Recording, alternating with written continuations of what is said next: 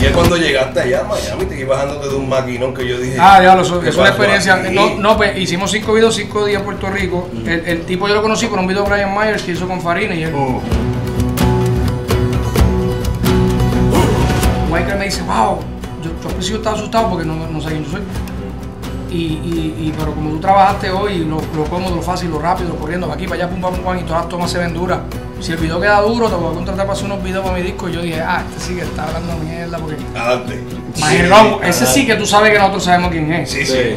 ¿Me entiendes? Y, y, y yo, pues dale, pues sí, sí, no, yo. Y la manilla es de bien chévere. Ah. Y yo, ya, cabrón, con, con nada más que hablé con Waker un jato, ya eso para el carajo, ya con eso lo hice, lo logré.